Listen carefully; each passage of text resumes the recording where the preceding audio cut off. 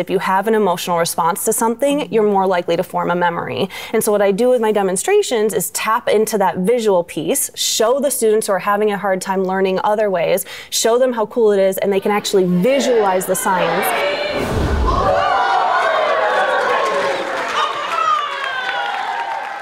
Kate Biberdorf is a professor of science for the University of Texas. These days, she's better known as Kate the Chemist. Her explosive and entertaining experiments have taken her from the college campus to network television. She shares a passion with Notre Dame's College of Science for teaching audiences of all ages to fall in love with scientific discovery. That's what made her an ideal choice to deliver the College of Science Christmas lecture. I talked with Kate ahead of her lecture for this episode of Notre Dame Stories.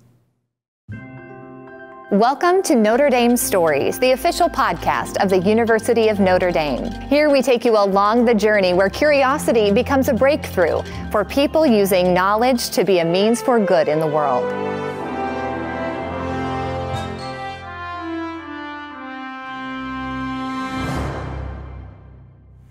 Kate, it's so great to have you here at Notre Dame. You grew up not far from here, is Yes. that right? So welcome to South Bend, but you've probably been in the area. Tell us about where a you grew couple up. times. I'm from Kalamazoo, Michigan, so it's about an hour drive away from here ish. Um, and I came to Notre Dame a lot. I was here in 2018 for BCCE. It's a chemistry conference that I went to, and my uncle worked for Notre Dame, so I was on campus Really? a lot growing up. Yeah, he was a, a chef. He was a head chef here, so got some good food. Awesome. It was really fun. Well, welcome back. Thank you. Thinking back to those days growing up in Kalamazoo, Zoo when did your love for science start? Is it that far back? Well, okay, so I get this question a lot, Mm-hmm. but I've always been inquisitive in nature, so I wanted to know why, how, like how does this work? I drove my parents crazy with those questions, but it wasn't until my sophomore year of high school when I met Mrs. Kelly Palsrock, love you, love you, um, and she was the best teacher ever, and she would run around the classroom, light stuff on fire, and honestly, ever since I was 15, I knew I wanted to be a chemist because of this passionate, wonderful, wonderful woman. We are the Bill Nye the Science Guy generation. Yes. Right? Yes. There was no female equivalent. None. Until you. Well, I mean, yeah, I guess, but there were there. Everyone's out there. That's the thing. Like they're out there. The sci- Sure. the female scientists are out there, but for whatever reason, I was able to break through the mold just a tiny bit and get on TV and show that you can be a girl and like Louis Louboutins and breathe fire and love science. Like it's okay to like all those different things. Did you feel like there was a gap there as a young person? There's this person I want to emulate, and she doesn't exist, or at least not in a sphere where I can watch her. I I don't think I realized that. Like, I don't think I put it to words when I was younger that there wasn't somebody out there because you're just so used. I mean, this is what you know. Bill Nye is out there. Um, Mr. Wizard was before him. And so it wasn't really until I started being a professor at the University of Texas, Hook'em Horns, um, and I was bored. I was just teaching and I had this extra time and I started doing demonstrations. I started going out to schools and then they invited me on TV. And once I started looking around for it, it really hit me. I was like, there isn't anyone here. There's not a single person that looks like me, acts like me, and loves science like me. And so when the people called and said, Do you want to do national TV? I'm like, Hell yes. Absolutely. I have to tell you, I was watching you on the Today Show with my girls. They're nine and six. Mm-hmm. Oh, great. And especially my nine year old, she couldn't get close enough to the screen. Mm-hmm. She just was so enthralled. What is it about that age, that not quite preteen, Right. that's such an important time for girls? So is that fourth grade, fifth grade? Yeah, third grade, yeah. Third grade. Okay, mm-hmm. wonderful. So yeah, it's right there. That's the sweet spot, like the third through fifth grade, right before puberty, before middle school, mm-hmm. usually, where they're still passionate. Their brain is starting to function. They're starting to understand that hey, there's science behind magic, and they can mm. really start to understand what you're saying. And that's honestly when I think we need to jump in so fast. So like, thank you for showing the videos. I really appreciate that. Like, way to They'll go, be here mom. That was amazing. Okay, good, good, good.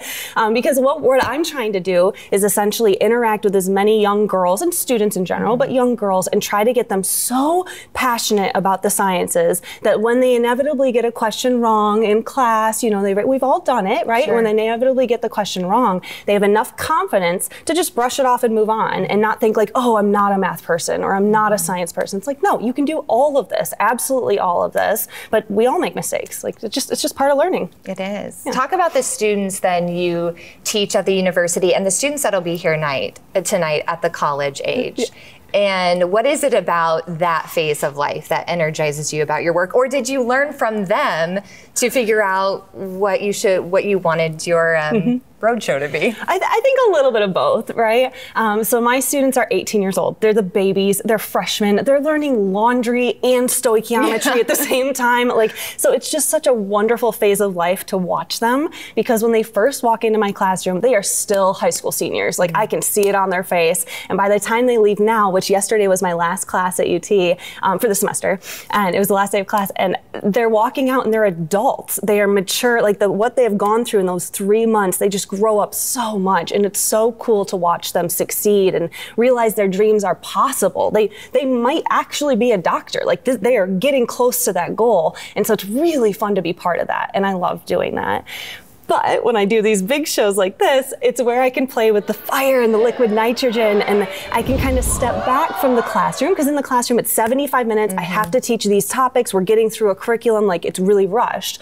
Whereas this, it's like do you want to come here and give a Christmas lecture and just have fun with science? I'm like, yes, 100% sign me up. I've got nine amazing demos that I've got planned for tonight. I'm just, I'm so excited to do it.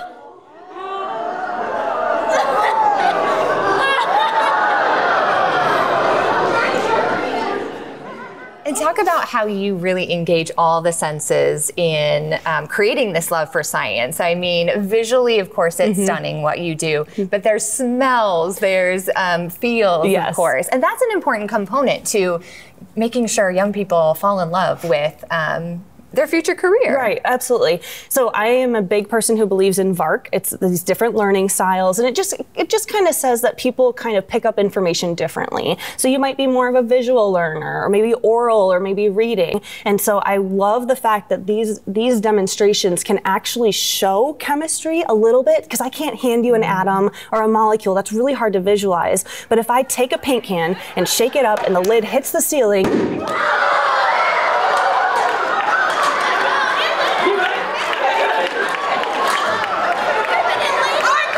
Students are like, what's up with that? Yeah. How did that happen? And so the theory behind it, it's William James's theory of emotional memory. And basically what that says is if you have an emotional response to something, you're more likely to form a memory. And so what I do with my demonstrations is tap into that visual piece, show the students who are having a hard time learning other ways, show them how cool it is, and they can actually visualize the science. And then the research shows you literally have 60 seconds after you do the experiment to get them to learn. Wow. So yeah, it's really fast. And so like I breathe fire and then I'm like, heat, work, thermodynamics, ah, just as fast as I can to shove the knowledge into their brain. Um, because after that, it kind of slows down and you lose their attention again. So. But you're right, you're creating a memory, mm-hmm. and that's powerful. It's very powerful. And it's just like you said, like the smell could be it. it. They could remember the sulfur smell or maybe like that burnt sugar smell. And that's enough for them that when they smell it again somewhere, it's going to trigger the memory. They're going to know what's up. They can explain it to their friends. Probably not, but hopefully, like a girl can dream.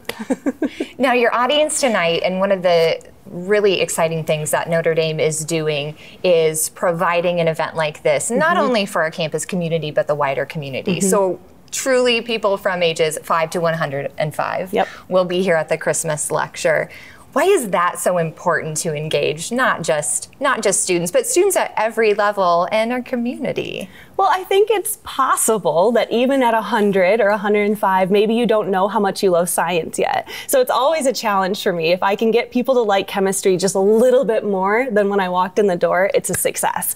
And so if I have somebody here who's five years old just picking up the word beaker, or maybe they hear the word molecule for the first time, they have no idea what it means, but they, have heard it, right? Whereas the 100 year old, or maybe maybe the 80 year old, let's drop it down just a little bit, where the 80 year old might still be interested in like, hey, I've always wondered that for 80 80 years, I've wondered why this is or how that works. And it's a way to just kind of sneak that in. And even at 80, you can decide that you want to be a scientist. And so I am here for everybody. Anybody who wants to show up and watch me do science, like you are my you are my person. Like let's go. We're so glad you're here. Thank, Thank you. you for talking to me. Of course. Thank you so much. This is such a pleasure and honor. Truly. Appreciate it. you ready? One, two, three, go.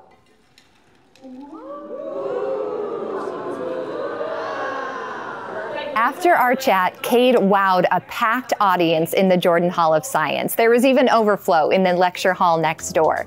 She used a sensory experience to enhance learning. She breathes fire, we learn about thermodynamics. She blows the lid off a paint can, we learn about chemical reactions.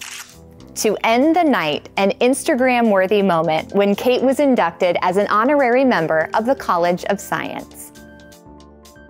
Thanks for joining us for Notre Dame Stories, the official podcast of the University of Notre Dame. Notre Dame Stories is created by the Office of Public Affairs and Communications.